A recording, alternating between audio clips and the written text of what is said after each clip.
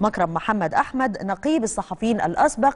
مساء الخير أستاذ مكرم وحضرتك النهارده يعني كان ليك آه، آه، دور فاعل جدا في المؤتمر النهارده وأكيد كمان حضرتك شاركت في البيان الختامي. مساء الخير على حضرتك. مش النور يا فندم أهلا بيك. عايزين نعرف من حضرتك بقى الخطوات الجاية هتبقى إيه؟ انت قلتي إنه ابرز حاجة هو موضوع شحط الثقة. لا أنا بعتقد إن البيان نقل رغبة عدد من الصحفيين كانوا موجودين في الاجتماع. أعتقد إن حدودهم حدود عددهم كانت 250 أو شيء. في إن هم آه، آه، آه، نطلب إلى النقابة اسمهم ها مم. عقد جمعية عمومية غير طارئة لشحط الثقه نعم. لكن البيان لم يتبنى سحب الثقه بشكل مباشر. إن في 256 عضو موجودين في الاجتماع. قالوا إحنا عايزين كده ووقعوا على هذا فلم يكن أمام إنه الأهرام أو الهيئة المشرفة على هذا المؤتمر إلا إن هو إيه يوافق على إن هو يبعث هذه ال- الطلبات إلى مجلس النقابة طالبا أنا. شخصيا أعتقد إن مجلس النقابة لن يستقيم. لن يستقيم لن يستجيب ولن يعقد الجمعية العمومية ويبحث عن ذرائع لإفشال هذه الطلبات لكن أنا الاهم. الأهم في مجلس في, البيان النهارده أنه رد اعتبار برضه الصحافة قدام المجتمع. بين الأهم إيه يا فندم؟ رد اعتبار الصحافة آه.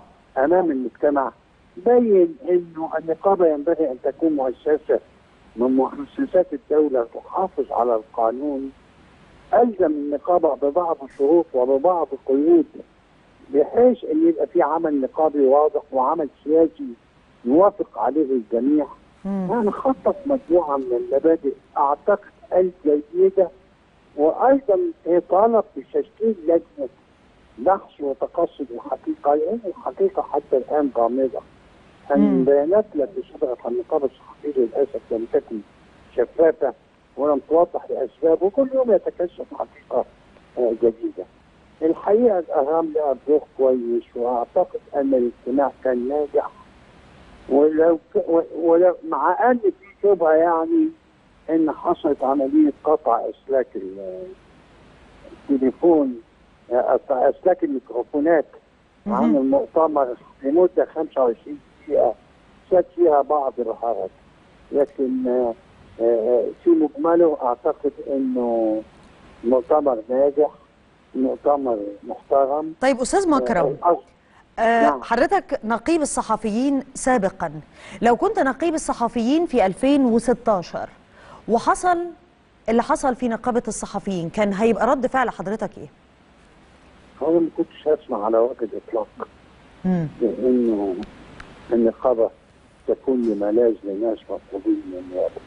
ده بداية كده نعم ده ده من البداية أصلا آه، من البداية أصلا. مم. اثنين لو كان حتى حصل إن هم دخلوا النقابة وف... وف... وأنا على غير علم وفوجئت بالفعل بان أنا كنت هذهب إليهم وأحاول إقناعهم بأنه لازم تسلموا أنفسكم لأن كنت حاطط حاطين النقابة في وضع حرج. إن في أمر من النائب العام واوامر النائب العام لابد أن تنفذها ومش ممكن النقابه تأويل هربا من النيابة دي غلطة كبيرة يعني لا نعم. يمكن وأعتقد إنه إنه لها شوارط كثيرة مش حتى في نقابتنا في نقابة المحامين أيام أحمد الخواجة الله يرحمه لما أحمد ناصر الله يرحمه برضه.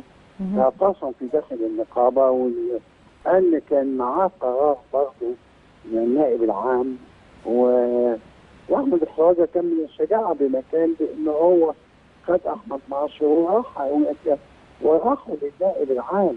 لأن برضه اقتحام اقتحام النقابة مش عملية بالظريفة يعني. نعم. هو يعني لكن في نفس الوقت حضرتك بتتكلم على إن لازم يبقى الأول في تجنب للوقوع في الأخطاء وبعد كده نتكلم. طبق القانون أهم حاجة طبق القانون. وأنا بره القانون.